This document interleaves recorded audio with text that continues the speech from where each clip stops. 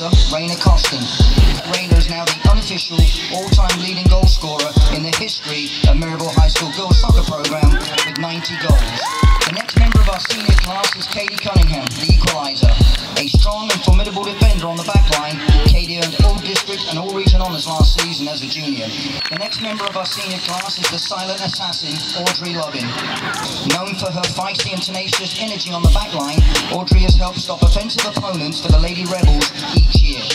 Next up this evening, we've got the Energizer Bunny, Ella McCullum. A skillful and crafty midfielder, Ella has helped a nationally ranked offense score many goals for three seasons on the varsity squad.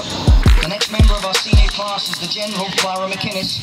A consistent and clever midfielder, Clara has helped to anchor a solid midfield that helped the Rebels get into the state tournament last year and then achieve a number two state ranking. The next member of our class is the Team Sunshine, Grayson Patterson. Grayson's favourite memory as a Lady Rebel is making a viral TikTok with Coach Feather this season. The final member of tonight's is our rock steady Ariana Whitehead. Ariana has helped score goals on the front line as forward for the Rebels, while also contributing her skills to provide a steady midfield in multiple games. And this group of seniors have never lost a game on this field in their four years, which truly captures the legacy and impact these girls have left on our program. Please help me one more time in congratulating this impressive group of young ladies. Put your hands together, please.